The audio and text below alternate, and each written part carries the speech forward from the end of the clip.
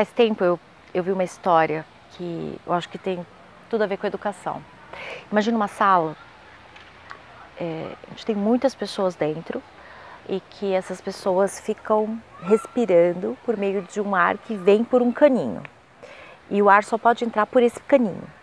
E aí as pessoas ficam lá é, se matando para conseguir é, respirar o ar que vem por esse caninho, porque é só assim que elas vão conseguir sobreviver. E passam anos e anos assim. Até que um dia uma pessoa chega lá e fala: Gente, o que vocês estão fazendo? Chega e abre a janela daquele quarto, onde entra a luz, onde entra ar.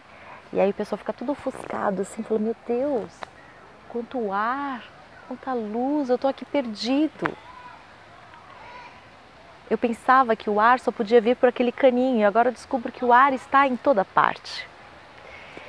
É, eu acho que é isso que está acontecendo com a educação.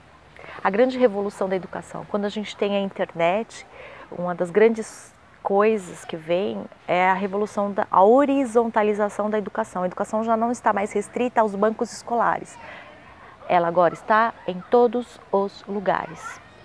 E é possível uh, as pessoas terem acesso a informações uh, através de um clique de um, do, do, smartphone, do computador, de onde elas estiverem. Todos os lugares têm conhecimento e todas as pessoas têm coisas para ensinar e coisas para compartilhar. A internet está permitindo isso e eu acho que a grande revolução e a grande mudança vem é, a partir é, desse novo escopo e as pessoas estão perdidas agora. Nessa fase, olhando, falando assim: nossa, quanta coisa, quanta informação, é, por onde eu vou, por onde eu começo.